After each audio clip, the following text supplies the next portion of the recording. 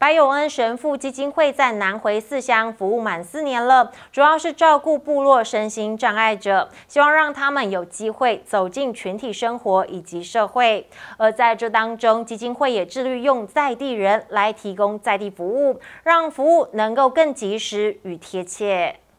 白永文神父基金会在南回四乡服务满十年，主要照顾部落身心障碍者，希望让他们有机会走进群体生活及社会。而为了让身心障碍者与弱势家庭重拾应有的基本生活，基金会致力于用在地人提供在地服务，让服务及语言沟通上能更及时与贴切。我们基金会在这里十年，呃，我们除了服务。呃，身心障碍者及他们的家庭以外，我们还有一个很特别的事情，就是我们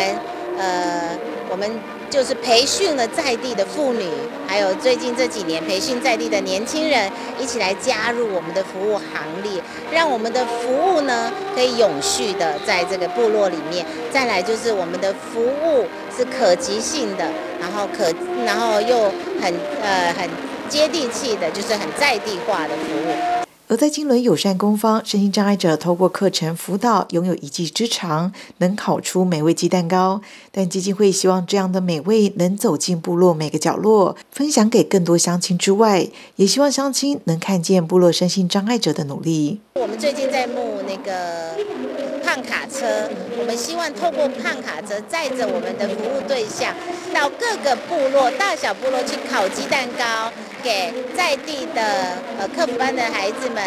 呃享用那个点心，再来就是透过到他呃服务对象自己的村落里面卖鸡蛋糕，可以让村里知道说哦，原来他会做鸡蛋糕，也大家对他有重新的认识，也会肯定他，也会提升他的自信心。白友恩基金会在南回地区服务太马里金峰大武达人，除了载着服务对象走出部落，同时也将物资与关怀带进部落弱势家庭。每天行驶三百三十五公里，年度可服务一百二十位弱势朋友。而白友恩基金会也期盼社会大众能给予更多资源，一起把希望的阳光带进部落。就讲解金峰向报道。